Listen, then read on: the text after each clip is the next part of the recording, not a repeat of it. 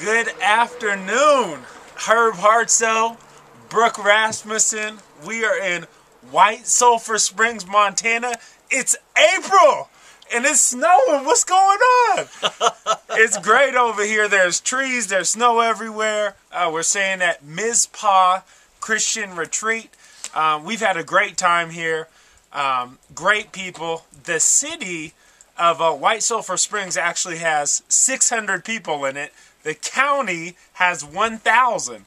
But uh, the harvest is ripe out here. We came out here. We did some uh, nighttime crusades. It was awesome. The first night, uh, there was about 100 people at the gym where we performed the crusade, and 36 people came to Christ. It was awesome. It was awesome. A beautiful thing. Uh, beautiful thing. It was great. It felt like like half the crowd came forward. I mean, that is 36%, so it was great. Uh, to go back a little bit on my drive here from the plane, I came with Pastor Johnny, and Pastor Johnny said, if a moose or a deer comes out now, Herb, I'm going to have to go head up. I'm going to have to go square up and hit it, because if I swerve, I'm going to do more damage to my truck. What happened? a deer came, he went square up and hit it. I was like, oh! And then he hit it. And then we see like, you know, 30 more deer on my way here to White Sulphur Springs. And I saw a mountain lion. I was like, oh my goodness, a mountain lion. So it was awesome. It's been great here.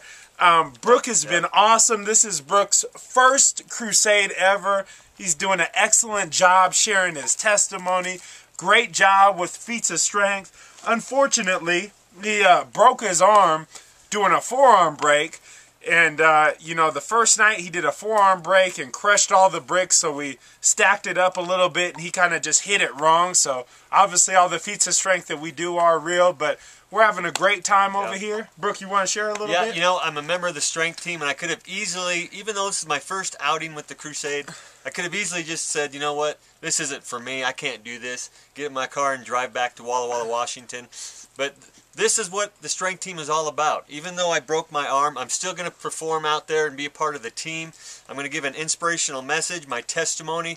I'm going to let these people know that the simple fact that I broke my arm is testimony in itself that I believe in the strength team. I believe what they stand for. And if I had to sacrifice my arm to do that, to, to bring one person, one person to the altar, is it's worth it for me. Man, it's awesome out here. We're really enjoying it. One quick story there was a girl in the high school, and, uh, you know, a couple days ago, she almost committed suicide. Yep. And I said, Well, why didn't you commit suicide? And she said, Herb, because if I would have committed suicide, I know I would have went to hell. Well, let me tell you something two nights ago, our first night of the crusade, she accepted Jesus Christ in her heart as her personal Lord and Savior. And in addition, she came up to me afterwards and said, Herb, I hope this helps. She gave me an offering envelope, and I looked inside it. She gave $100. She's 15 years old. And I was like, wow, that really helps. And she was like, well, I was going to spend it on pointless clothes that I didn't need, but I thought I would give it to something that really mattered.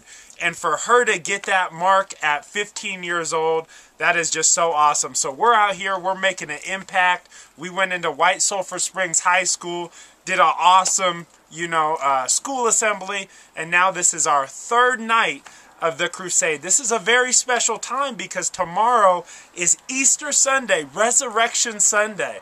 Without resurrection, we wouldn't have salvation. But because Jesus Christ died on the cross Amen, for our sins on Good Friday and rose again on Easter, we have salvation and we have the hope of eternal life in Christ Jesus our Lord. Praise the God, Bible says God. in Romans 10 9, if you confess with your mouth Jesus is Lord, believe in your heart God raised him from the dead, you will be saved. Amen. And so far, our first crusade night, 36 decisions for Christ. Our second crusade night, I think we had 22 decisions for Christ. And you know, there's only about 100 people coming out each night. So the harvest is ripe, the workers are few, and we're so happy to be Amen. part of the strength Amen, team. Herb. Yep.